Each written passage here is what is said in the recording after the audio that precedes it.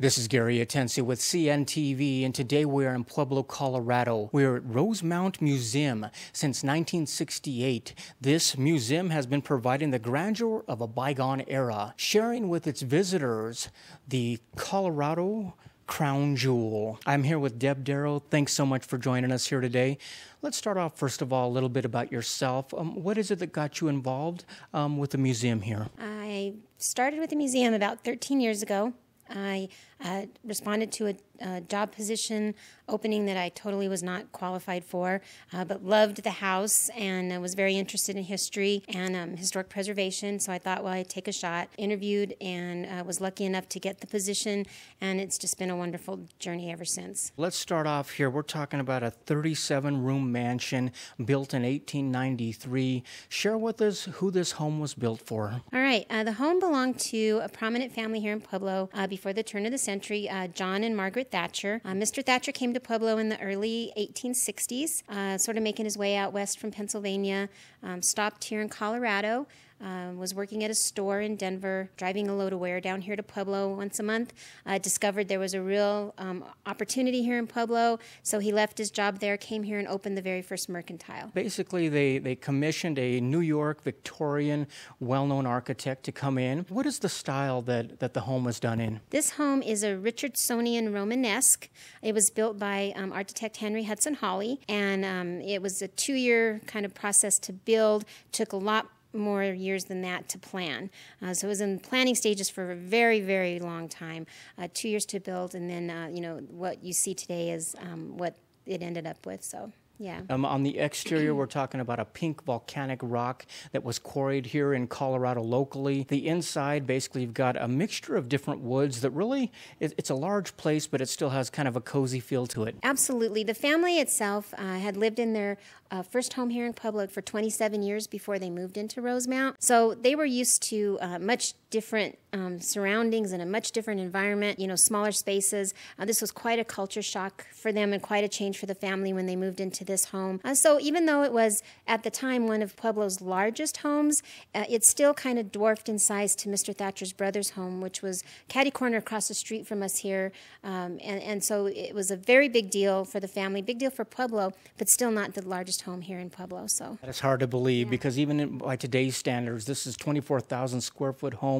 That is really large. Um, not only that, but the impact when you walk into the Golden Oak entrance hall, that must have been quite an impact back in the day. Absolutely. The uh, home itself has so many different features. Uh, Mr. Holly was very good at what he did in terms of designing homes, and uh, the Thatchers very much listened to his direction as they, um, you know, made the plans for the house. And so all through the house, when you, uh, you know, every where you turn just about. Um, there's just amazing architectural features, you know, amazing uh, contrasts and colors and things that complement one another. And it really is a magnificent home. It is beautifully lit basically by um, chandeliers throughout the home here, as well as uh, ambient light, stained glass um, that I seen as I walked in. Um, are, are, many of these furnishings all original? Yes, actually, um, the home has about 85% originality to uh, it's all of its original furnishings furnishings, um, textiles, you know, uh, artwork, pretty much everything from the original four family members who lived here in the home. We were lucky in that the family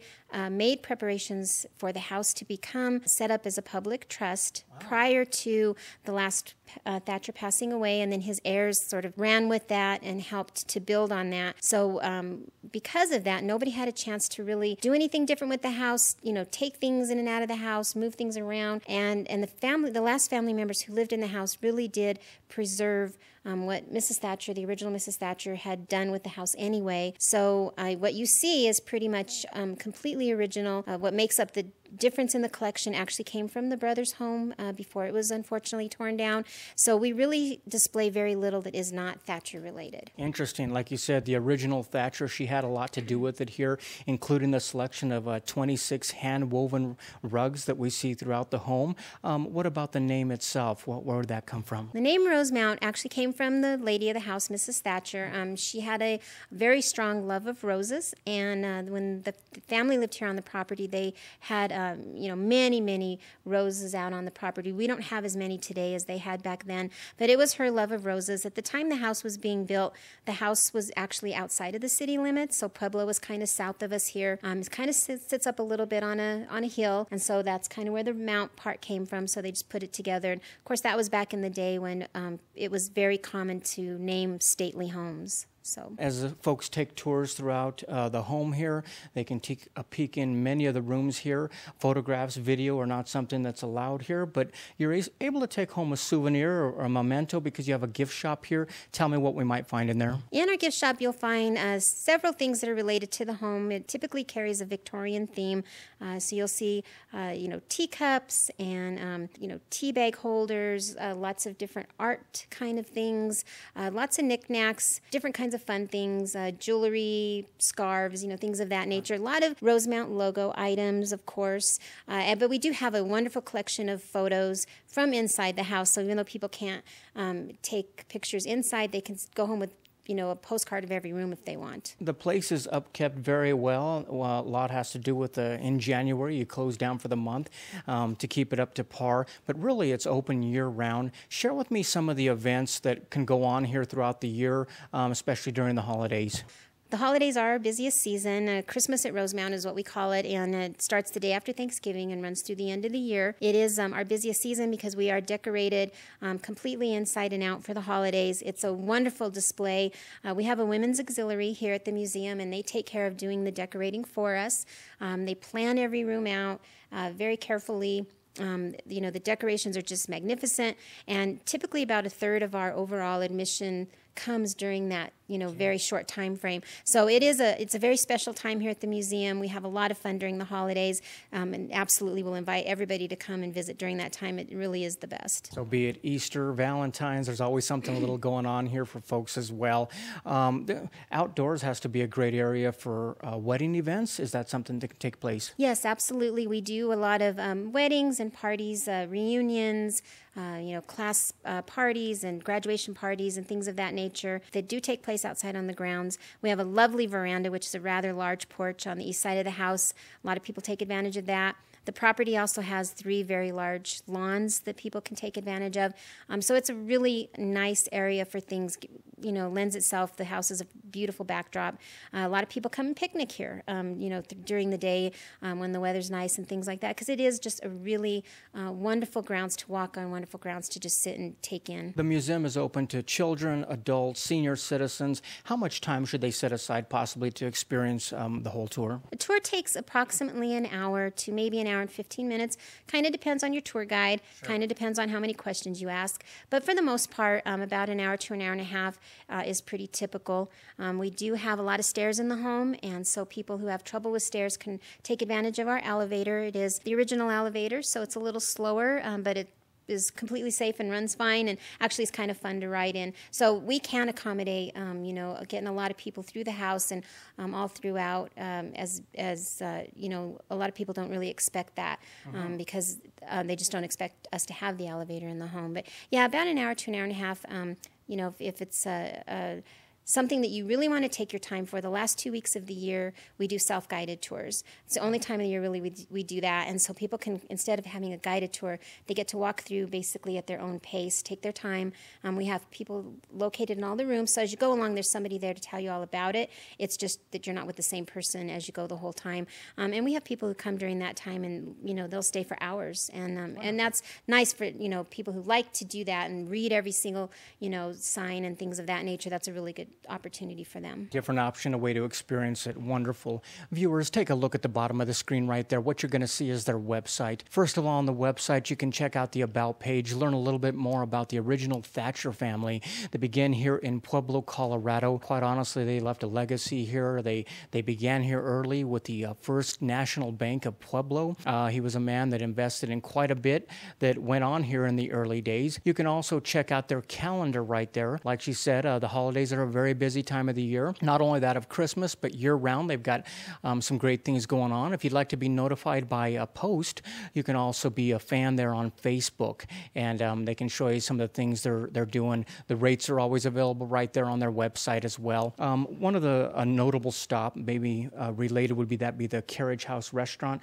which is on the grounds here. Tell me a little bit about that. Absolutely, the um, Carriage House is a really nice feature. Uh, it was the original house, uh, carriage house for the family, so of course that's where they kept their carriages and buggies and um, horses and a milking cow. It's been renovated for a restaurant, and so it's a lovely little spot, um, you know, to have a wonderful lunch, a nice dinner. Has a lovely patio, so it makes great, you know, great opportunity for outside dining.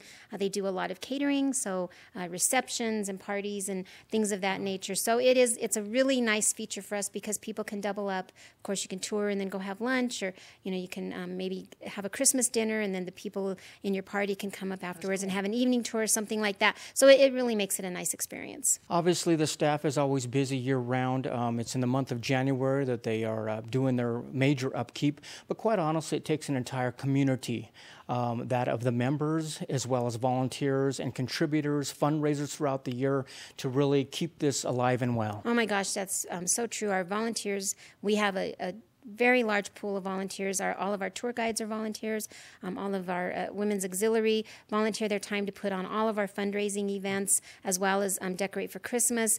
Uh, we have um, museum members who do a lot for the museum as well uh, in terms of you know uh, PR out in the community and things of that nature. So it does take a lot of people to keep. You know, the house is an old house, and so technically the house is the boss because just like at your own home, you don't know what's going to happen from day to day. So you might have one thing planned, but you come in the morning and you might have to do something completely different. Um, and so we have to pull from a lot of different resources and a lot of different places to get things done around here.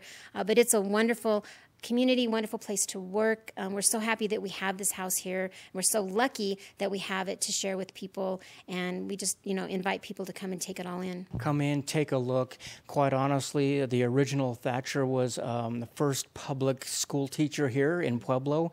This place still, her home is an education tool, I would imagine, for young and old as well. Yes, we do have a lot of school tours, um, you know, daycare centers, uh, Girl Scouts, Boy Scouts, things of that nature. People um, like to come and bring the children. Uh, children do get a really big kick out of the home. There's so much in here that is just so foreign to them, um, things that they've never heard of or never seen. You know, even littler children um, can come for a tour and, and really sort of leave with something um, that they remember that was something they've never seen before or heard of. Um, and so it's really nice uh, to be able to share something like that with children.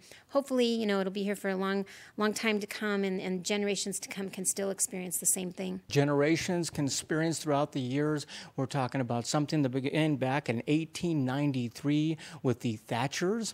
Last time viewers take a look at the bottom of the screen, you can see their website right there, the contact information, hours of operation. This truly is a uh, place to get away here in Colorado. It has been known as Colorado's crown jewel. We want you to come out and take a look. The grandeur of a bygone era. This is Gary Atencio with CNTV. And if you don't know, now you know.